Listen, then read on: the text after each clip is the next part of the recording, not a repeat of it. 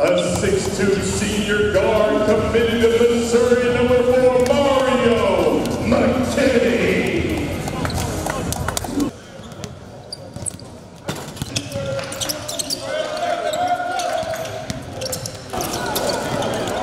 Sharks, number 22, Vernon Carey Jr. That's his first personal foul, team fifth.